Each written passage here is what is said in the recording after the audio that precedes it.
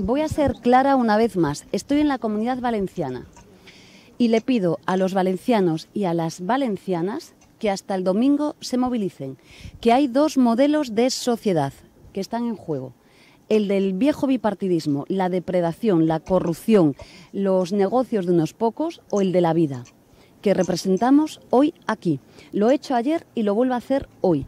Y sí, quiero que se vote a las gentes que hagan posible la garantía de mantener el Botanic y la alcaldía en manos de Joan Ribó. Creo que estoy siendo clara, nos lo jugamos todos. Tenemos la posibilidad de derrotar aquí al Partido Popular. Y el llamamiento que hago a los valencianos y valencianas y también a los trabajadores y trabajadoras valencianas es que se movilicen, que hagan posible que no volvamos atrás, que no volvamos al Partido Popular que ustedes conocen mejor que nadie, que se llama corrupción en Valencia que hagamos posible que los procesos de transformación que tiene eh, desarrollados el Botanic y que tiene desarrollado la alcaldía de Joan Ribó continúen adelante. Gracias.